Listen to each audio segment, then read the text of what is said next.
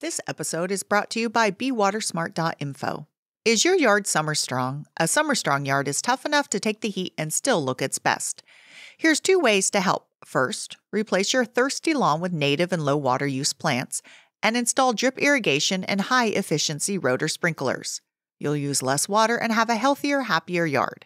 Second, here's how to help your trees grow strong enough to handle the summer heat. First, check the soil with a moisture meter or screwdriver to see if it's dry. If you need a water, set up a soaker hose or drip irrigation at the outer edges of the tree's branches. Water your trees at least once a month. Find more helpful tips and videos at bewatersmart.info. Look at that plant. I want you to know that everything was grown in my garden.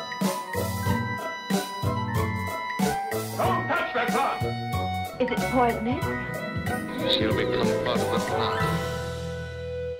Hi, everyone. Welcome to Flower Power Garden Hour. I'm your host, Marlene, and this is your July to do list. So, we are in the swing of summer, and for many, that means heat. And yes, we've been having a very mild summer. We've had one weekend, I think we made it all the way through June. The last day of June finally hit 100 degrees, which is very rare. And then we were blessed with a weekend with 108 degree and this coming weekend is going to be 109 but three days ago it was 83 which is also incredibly unheard of as well.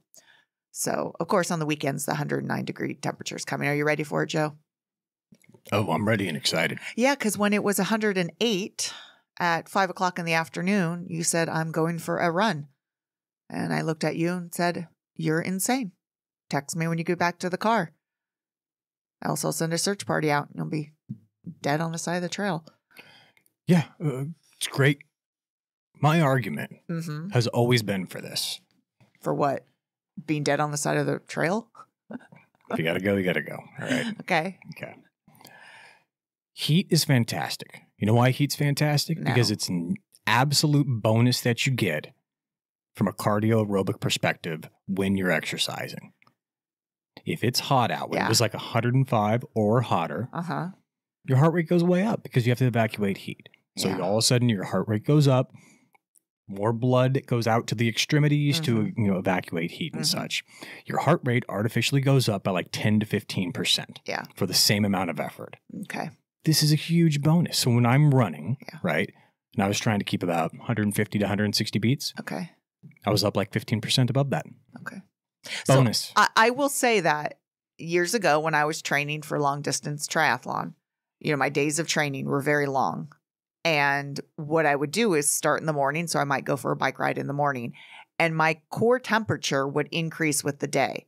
So by the time I had to get off the bike and go, say, run, and it was 100 degrees, 105, I didn't notice it because my body temperature was rising with the heat to me that's different than being in air conditioned or inside or in the shade and then all of a sudden stepping outside when it's 108 degrees to me that's difficult and you also realize joe how much do i sweat Sweating's got nothing to do with it. What do you mean? i sweat a lot Okay. And and i'm the only person i know who gets hot goosebumps no, So I get- think no, I- no, no, no, no, no. I have you a- are not the only person that gets that. i think i am No, I get that. hot goosebumps Of course. i didn't know you got who no one i know else gets hot hot goosebumps Well, yeah, no. now you're just trying to does. copy copy me okay it's my thing You just don't like the idea any- of it. anyways, starting with more cool and act, you know, going through the day with it, that's different than jumping outside. Anyways, so um, can we talk about what else is going on besides your craziness? Big thing at work, speaking of heat, this is a big problem at work, is our DI water is out. That's deionized water. Ideally, we would have reverse osmosis RO water. We have deionized water. Labs use it, means stripped of everything. So that's why when we fertilize, we put everything back. Apparently, there's a major leak breakage at the central plant on campus. And we had no water at the no DI water at the conservatory in in different buildings as well. Where they got the other buildings going, but we have not had DI water on demand at the conservatory. Then they managed to get it where we have to call every morning and have them turn it on and then we quickly drain the tank. And this has been going on for weeks now. And the problem with that is we've been watering with industrial water and being there 15 years, we've never just watered with industrial water. So we've had to do that, or we turn the DI water on and water the carnivorous plants. We've had no misters. We've had no misters and no humidifiers in the conservatory. So I'm waiting for the plants to all of a sudden just go, we've been looking good. We've tolerated it. And now we're just going to hit a wall. So I'm waiting every day to walk in and just having that switch where they just look like crap. But I'm hoping they get the DI on soon. Apparently, they had to dig up tons of cement to get the um but still it's a big problem and it's like okay why don't we have our own reverse osmosis system? Um so that's just been something we've been dealing with at work. But other than that um went backpacking up on the sierras. Oh man there's still a lot of snow. A lot of snow a lot you of water. showed me a video the other day about these uh, two guys that were doing the, the codgers. The what? they're called the codgers. Okay. they're doing the pacific crest trail. Yes. yes And I asked you when it was from, and you said like yesterday. yeah Yeah, and there was a lot of snow. a lot of snow A lot of snow. a lot of snow, a lot of water, a lot of water on the trail, a lot of snow on the trail, a lot of very scary water crossings. That's almost worse than the snow is the water crossings as it melts. So be safe out there. But I mean, we need that water. But um, but yeah, that's I liked your message. Be, safe, out there. Be safe out there. Be safe inside and be safe out there. About that. Or don't and go run when it's 110. There you go. Live a little. There, live a little. Yeah. Yeah. Okay. So July. So because it's so hot, you know, it's obviously not a good time to plant. I, you know, I pushed it through June.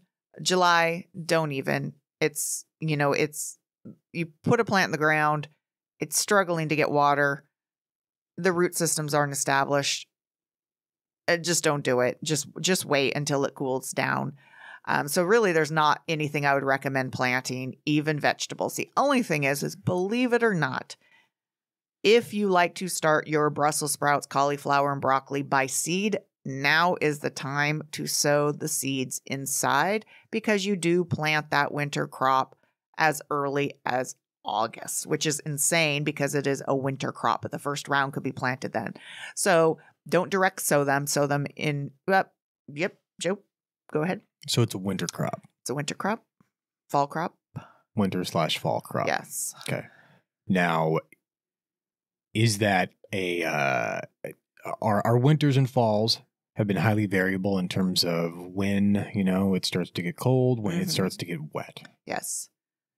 Now I know you can't foresee that and plan it Uh-huh. out, but does the success rate of those seeds that you're starting to sow now, if you're going to start planting them in August, is it highly variable and dependent depending on how warm slash cool slash wet slash dry the fall and winter is? No, it's more day length is what gets these plants going. All right. You're Okay. assuming if you're planting them in August, like I said, sow them inside, keep the soil moist, right? Mhm. You sow put planting them out in August, September. You know it's going to be hot and dry. It's we haven't had that much variable, but um, yeah, I mean the wetter the the winter, I always find that rains do a better job of watering in your garden more than irrigation, no matter what.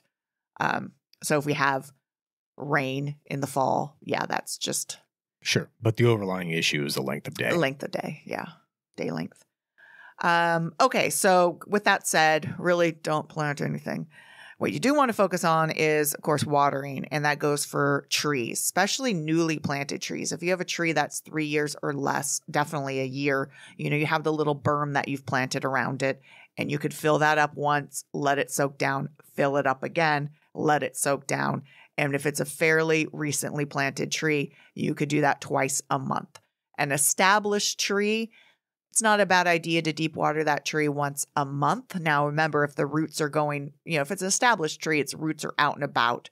You know, your neighbor has a lawn and it's those roots are underneath there. They're getting that lawn water. You have irrigation around. So, you know, it's never necessary. You see these trees and you're like, how is it getting water? Well, those roots are getting water various places, but it's never a bad idea to just you know, deep water a tree. And what you could do if you don't have an irrigation ring set up, just put a hose underneath it, turn on a little dribble and water it I used to water you know, just like a couple hours, move the hose around to different spots. Um, you know, you could always just take a big long screwdriver and jab it into the soil 18 inches and see how moist it is. Especially redwood trees. Redwood trees, their roots are way more shallow, and most trees need infrequent deep watering. Redwood trees, they rely on the fog drip. That's why in the Central Valley and other places they look like crap because we don't have the, the coastal fog.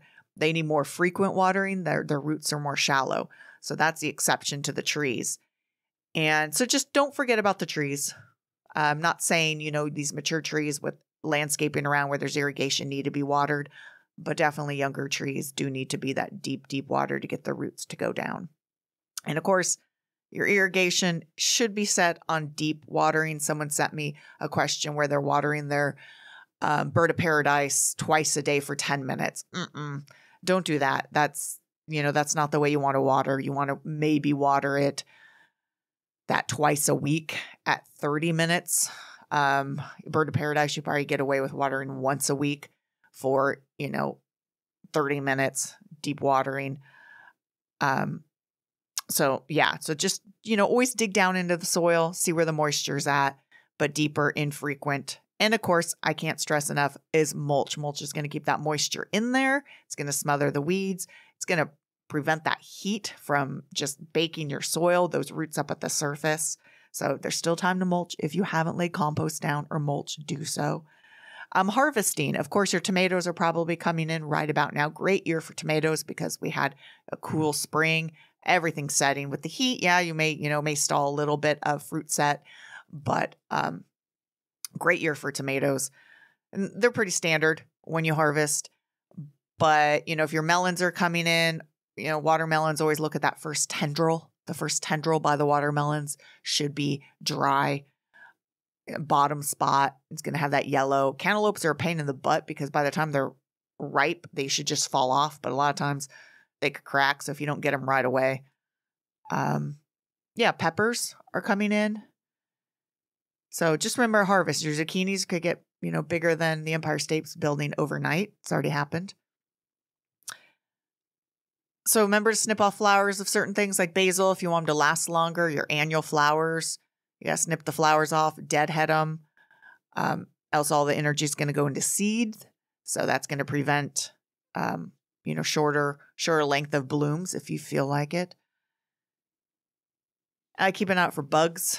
Hasn't been a very buggy year, which is good, but I know they're going to be there. I've been getting questions about uh, squash bugs, first first uh, leaf footer bug, which um, is a big pain because they will go after your tomatoes. And really, for the squash bugs and leaf footed bees, there's not. It's not like you could spray them. What you want to do is hand pick them and squish them. You know, there's no sprays that are going to magically work. It's just physically removing them. If there's a lot of them, just hose blast them. And really, the key for all this is just cleaning up after the after the um the season and just having a well balanced garden. Don't use any of the harsh chemicals, and hopefully, you'll bring some predators. Birds are going to be your best predators for big bugs like that. So you know, plant sunflowers around that are going to produce seeds that are going to get the birds to come in and they're going to like, hey, look at those bugs. I'm going to go get them. If you have cucumber beetles, remember add nematodes in the off season.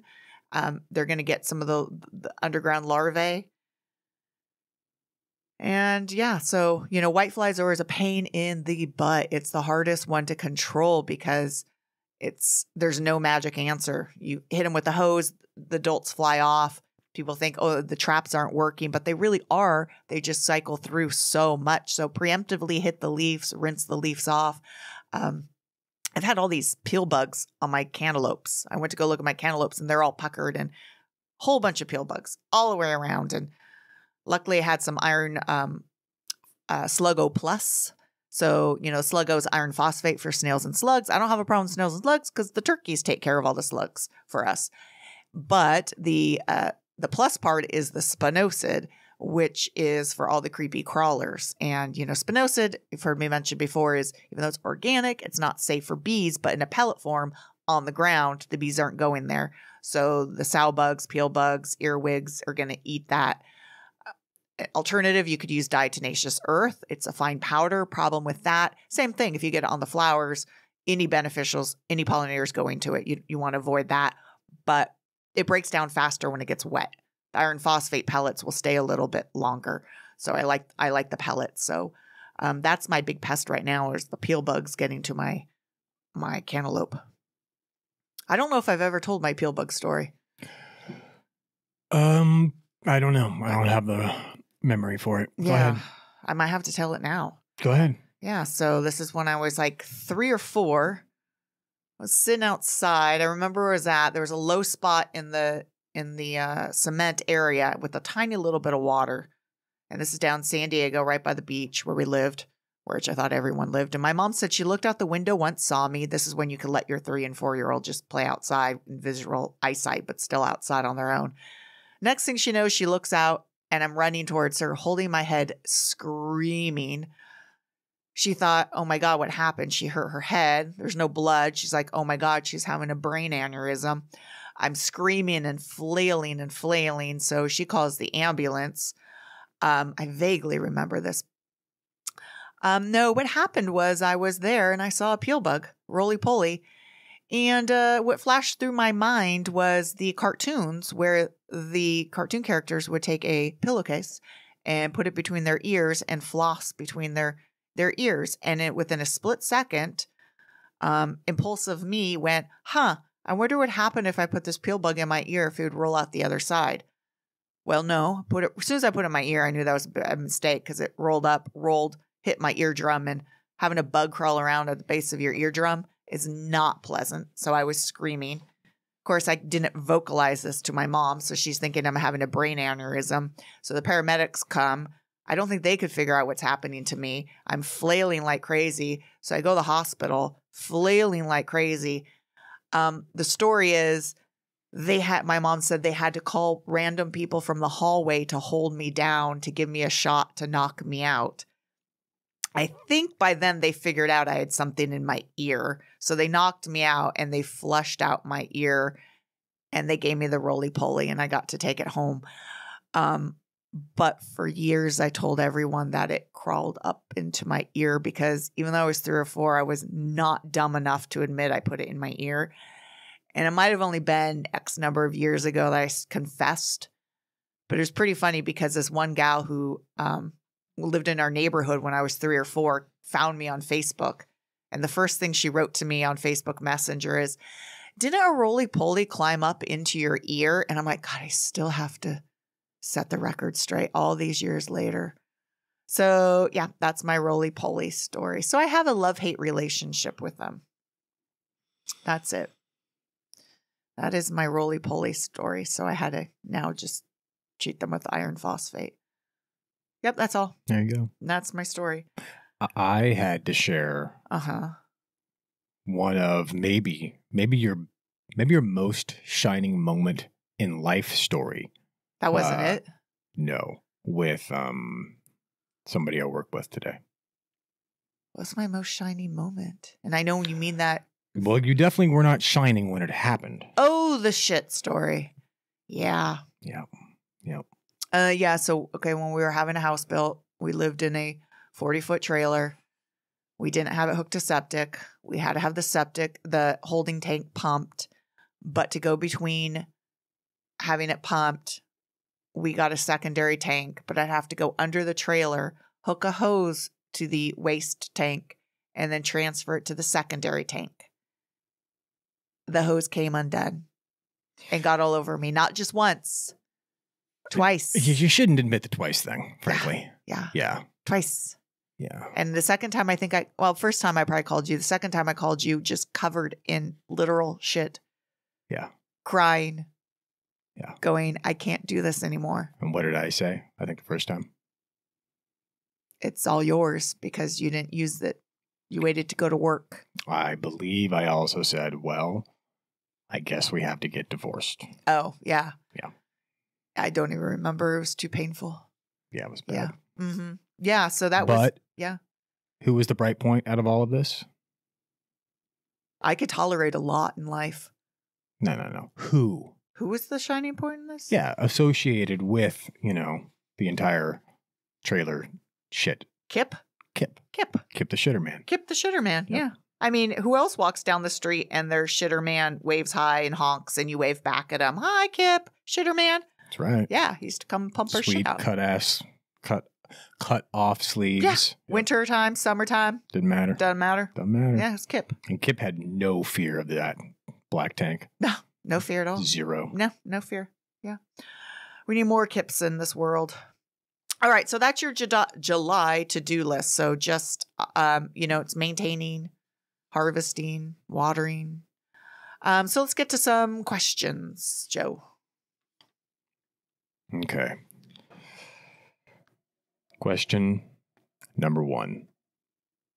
What is a you know, I like it when you put the name of the person. Oh, there's the name of the person. Well, there you go. There you go. this is Mark Okay. with a C. Okay. What is a good way to get rid of ants in the house?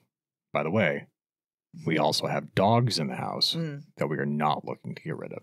Oh, did they put that? No. We have cats. Some of them we're looking to get rid of. A few. yeah. okay. Um.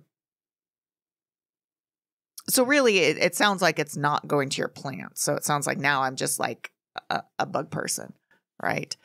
So this is my go-to. This is my go-to now. Whether it's not, I don't think this is super safe for dogs and kids. I don't know how your dogs are. There's obviously more poisonous things than this. So obviously, I'm not saying this is not completely safe to use around, but this is what I use. This sounds like a horrible answer right off the bat. I well, I'm just being honest. So our last house literally was built on an ant hill. We had so many ants We in that last house. It was insane. So I'd buy those Terro ant baits. It would go through them so much. And at work, we have to put ant bait out because ants, and I've heard me mention this before, they farm all the the sucking pests. So you want to get rid of them to allow in the natural predators. Same thing at work. We're going through these Terro ant baits. And, you know, they cost a lot of money. So you can make your own. Um, your mom's the one who told me about this actually. So you get the borax, um, usually in the bottom shelf, and you take half a cup of sugar, one and a half tablespoons of borax, one and a half cups of warm water, and you mix it all together and you create a syrup. So it should be more of a syrup. If it's too watery, add a little bit more sugar to make it syrupy. And then you could just soak cotton balls in it or pour a little bit into bottle caps and then place those around. So it's the same thing as the Terro ant baits, much cheaper to make. You have a lot of it, just store it in the fridge, label it so someone doesn't think it's like sugar or honey. And um, so you could use that and you could put those where dogs won't get. So if you know, you put them up high where the dogs aren't going to get the cotton balls and stuff. So that's what I that's what I would use. Um, obviously, if you find spots, you could silicone and seal them, but they could find their ways in every everywhere. But I think that's the safest bet. I think diatomaceous earth works, but like I said, it breaks down and it's you sort of this is where they will come and take it back to their their nest. Whereas diatomaceous earth, they have to climb over it. So if they start going around it, it's not going to do the job. So that's my go-to. Mark, I'm a little sketched out by leaving it out around the dogs. Well, I wouldn't leave it around the dogs. That's what I'm saying. Double check. Put it away far from the dogs. This is from No Name. My pumpkins are turning yellow and rotting before they turn orange. Okay. This is like an old October or early Halloween. It's either early or late. Might be right in the middle. What? Who's asking about pumpkins right now? Pumpkins are starting to set. They could start set. Yeah. Yeah. Yeah. Yeah. Yeah. Um, I don't have any giant pumpkins forming this year. Last year I had that one pop up and just form a giant pumpkin. None this year. Bummer. I didn't plant any pumpkins. I mean, they're useless. They really are. Last year, that giant thing rotted. I mean, I didn't plant it and just formed a giant pumpkin. Um, okay, so probably it didn't tell me the size, but I'm guessing it's not that large. One, we're early in the season, and two, what I think is happening is it's probably not being pollinated. So, uh, you know, the the fruit you've heard me mention is the ovary, and so it already looks like there's a mini pumpkin or a mini fruit on a lot of these cucurbits like zucchini and squash. Even before the flowers open, you could see a miniature little cucumber, miniature squash, a miniature pumpkin. So it's the ovaries there. Now, if it opens up and it gets pollinated a tiny bit, it might start swelling. But a lot of these fruits have to be pollinated by a lot of pollen, completely pollinated. So they have to be visited by a lot of bees or pollinators. So if it's just partially pollinated, it may swell a little bit and then uh, not fully pollinated and then it'll rot out. Something else that might be happening is if it is one of these pumpkins that is a large variety, it may set a few fruits, but because a lot of energy is going to one particular one, it will abort the other fruit. And that's very common. As a fruit tree will thin itself, if it can't hold on and maintain all of its fruit, it will drop it.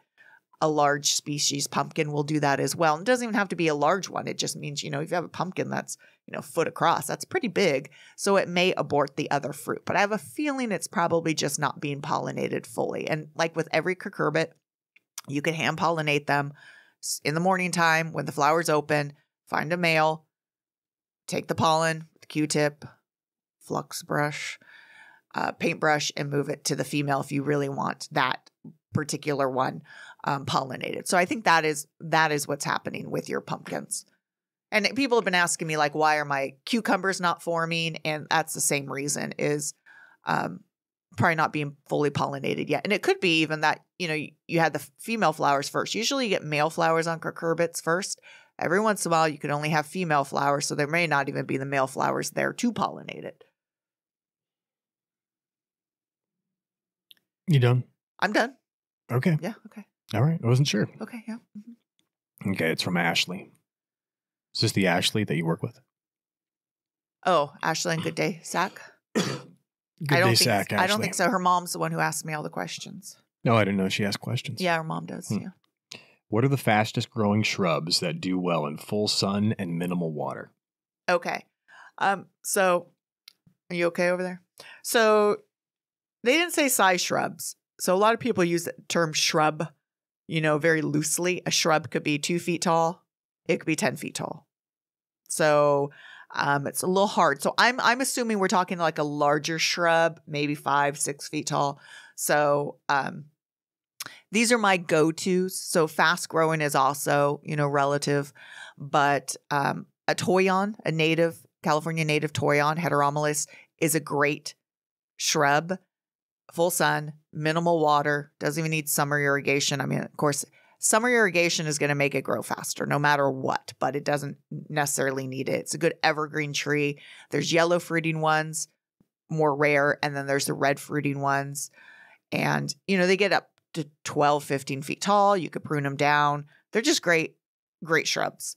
Photinia is sort of just the standard. You see them sheared into a hedge, but if you let them go, they have beautiful flowers, nice red foliage. They do take full sun, um, but you could also shear it into a hedge. Pretty fast growing. Does get like that Photinia leaf spot if they're planted too closely. So do give a little bit of space to them. But I hate when people shear them too much because they do have beautiful flowers and nice red foliage. Ceanothus. Ceanothus can be incredibly fast growing. And if you grow the shrub ones, they can grow five, six feet tall. Now, you've heard me mention with Ceanothus is they may grow really fast. The problem is if they're not in perfect drainage, they're in clay soils, they live about seven, 11 years. And then they're just so stressed over time in clay soils, winter rains, that they could literally die overnight on you. So I hesitate to put that. But if you have great drainage, really fast growing. Euonymus is another no fuss shrub. This thing doesn't care. The one we have, I didn't plant it, has had like powdery mildew for like seven years as long as we've lived here, and it doesn't care. Um, but it's another, you could get a variegated euonymus and gives a little bit of gold, gold um, accent. Um, this is a shorter one and a little bit different of a shrub.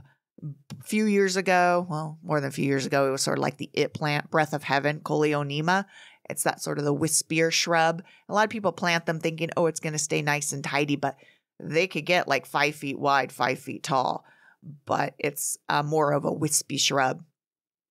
Some things that people don't think about is um, a rose as a shrub. There's, you know, the simplicity roses, but the Rosa mutabilis, which is the China rose, is really a great big, big shrub. And it's a rose that stays evergreen for the most part, blooms for a long time, and you don't have to prune it like a rose. Trust me, you don't want to prune this thing because it's massive. It could get eight feet wide, eight feet tall.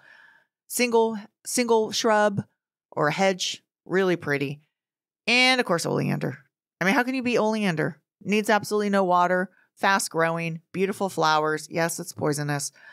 Um, Teucrium, but the Teucrium that fruticans, the blue flowering one, low water, and a Texas Ranger shrub called Leucophyllum. It has purple flowers, low water, full sun. And so those are some of the shrubs that I would just recommend that are fairly fast growing, full sun, and minimal water, and pretty much not too fussy. Some of those, you know, do have a little bit of um, problems, but hey, who doesn't, right? All right, are we on the final question? Final question of the night. of the night. I don't know the context for when this one is, Okay. but I think it does matter. Okay. I believe you did a segment on Good Day Uh huh. about cut flowers. Yes. Okay. Well, Lola is asking, I missed your segment on Good Day Sacramento. What are the best cut flowers? All right. Because yes, my last one on Good Day Sacramento was cut flowers. Um. Okay. So these are my favorite cut flowers. There are so many more, um, but these are the ones I like to grow, and I have great success with, and are very, very easy to grow. And you could start these all by seeds in trays in springtime. You could direct sow some of them in the ground. And if you could find starts at nurseries, go ahead. So some of them are harder to find starts. Um, Beetle Goat's trying to come in. Or that's Ava. That's Ava. Ava wants to come in. Um, so I'm going to start with Cosmos. Cosmos looks nice and airy and it looks fragile, but actually is a really good cut flower.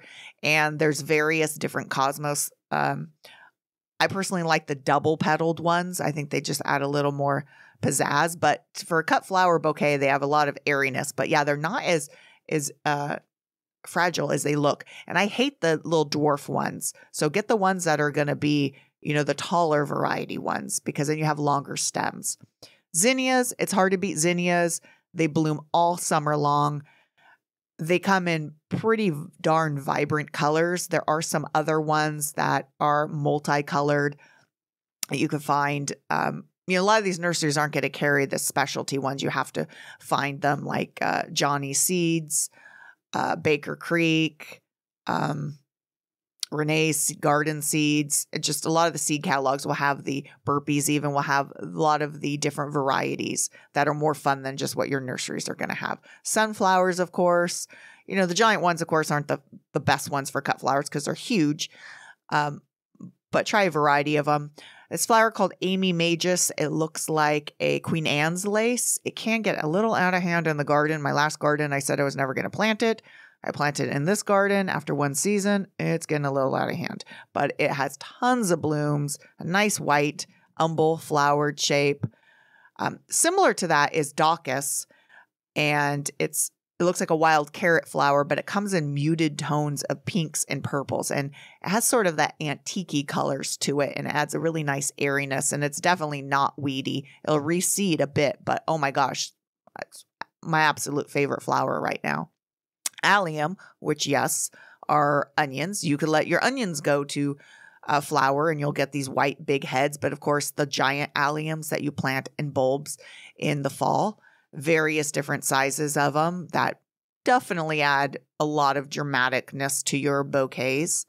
Snapdragons, of course. And once again, not just the little ones that you buy at nurseries, but make sure you buy the taller varieties. And of course, there's double snapdragons. Dahlias, um, the dinner plate dahlias, yeah, they, they could overpower a bouquet. So some of the more pom pom ones, the smaller ones, they do make great cut flowers. But if you wanted just a, you know, a, an amazing, just dramatic bouquet, you could just cut your dinner plate ones. Straw flowers, an amazing flower. You could dry that. It lasts forever, comes in multiple flowers, blooms all summer long. One of my favorites. Bachelor's buttons. It's an earlier season. Um, I have a pink variety. It's still blooming right now, though. There's blues, lavender, of course. You know, my favorite Grosso, Provence.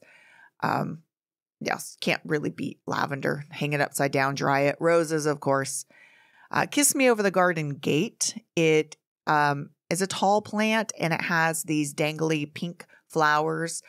Um, it's uh, a polygonum, but it's called Kiss Me Over the Garden Gate. And then, of course, amaranth. And amaranth, you know, could hang down and be droopy. and adds a little bit of a little accent. It comes in anywhere from green to sort of like a beige to red. And Lizzie this is the first year I've grown Lisianthus because for years I heard, oh, you can't grow it in the heat, can't grow it in the heat. And then I, I was, I think it was the 1818 Farms lady I did a um, conversation with, and then another farm around here, flower farm, was growing it. I'm like, well, wait, wait a minute. Of course I could grow Lisianthus. So finally I got around to growing it. And what's great about Lisianthus is it looks like a rose, but it's and it looks fragile, but it's a great cut flower. And the variety I was growing was white with a little bit of pink um, around the edges, but they come in all different colors, and it's really a romantic flower. And then celosia, celosia, you probably heard it coxcomb, where you have that really strange crested flower. There's that, but there's also the ones that have the plumes. Um, so those are my favorite cut flowers. These are all very easy to grow, full sun for the most part, and some of them will reseed. Like I said, there's so many more out there. Don't forget about foliage either. Like the um what am I trying to think about? Asparagus. Asparagus foliage works great as a really airy foliage. Asparagus, like the vegetable Yeah, the foliage right now. That's really nice to add. So, and of course, you know, hydrangeas, they don't do great in bouquets. They're very short. You could use hydrangeas in bouquets, but they tend to wilt, but they they dry really well too. So, think about things that you could dry. So there's more out there, but those are my those are my favorites. So yeah. You know the probably least thing in gardening that you talk about on the uh, Flower Power Garden Hour? Yeah. Flowers. Because people love vegetables. Yeah, I know. People love vegetables. They do. I know. I love flowers. I mean, I don't have a witty name for a vegetable show. no, Not really. no. Yeah, you because you came up with flower flower power garden hour. So it was funny because um I keep he seeing flower power. It's not like you know we came up with the term flower power. That's like No, But, but um, you like hate hippies. I do not hate hippies. I hate wannabe hippies. Okay. Yeah. You know, people who like spend more time on their outfits trying to look like they didn't spend time on their outfits than me, who I'm like, just wear what you wore yesterday and the day before, just shorts and a dirty t shirt. When people are like, you know, Yeah. like, I'm like, I haven't brushed my hair in three days. I don't need to. I think you're confusing hippie with dirty. That's what I think. Like these people who like know. when yeah, like their their outfits make it look like they're like, oh, I didn't really care about this. I'm like, yeah, you did. You put that outfit together. You like hippie music. What is hippie music? Uh, what was the one about the um? I mean, some like ship that sank. that's not hippie music. The bit, um, little bit. the uh, Gordon Lightfoot, Yeah, yeah. What's that song? uh, wreck of Edmund Fitzgerald. Yeah, Yeah, Yeah. That's not hippie at all. yeah a little bit. Those guys were like on a ship, a I s- know. like carrying steel. Carrying steel. Yeah, they were loaded down with iron ore. Uh, iron ore. Yeah, weighed more than right. You're asking me to like the lyrics. Well, yeah, forget the lyrics. That's not hippie at all. It's blue collar all the way. I don't know. Gordon Lightfoot wasn't really hippie. He was more of like a, sure about singer songwriter beatnik type. I don't know. He just passed. Yeah, I know. Yeah, which is a bummer because uh, he was amazing. Anyways, um, sorry, I'm going off tangent, but still, Gordon Lightfoot did need did need a shout out. Um, all right, so if you like this podcast, rate and review on Spotify. You could give it a five star. On Apple, you could give it a five star and write something nice. Tell me the name of your kitty cat, even or your dog. That's fine. Um, I'm uh. Hold I'm hold a- on, hold on, let me. And then follow me on Instagram, Marlene the Plant Lady, Facebook, Marlene the Plant Lady. Uh, share this, tell a friend. What were you gonna say? Uh, his nickname was the hippie historian. Well, look at that. Gordon Lightfoot was the hippie historian. Yeah, With a name like Gordon Lightfoot, he needed a and nickname. he had hippie Volkswagen vans. Okay, he was a Right. hippie. He was a hippie. But I still don't think the wreck of the Edmund Fitzgerald was a hippie song. They're carrying iron ore. He was a goddamn Canadian. Yeah, you didn't know that? No, why would I know that? Now you don't like him? Well, he's got two strikes. He was a hippie Canadian. Ah, all right. Until next time, everyone, happy gardening.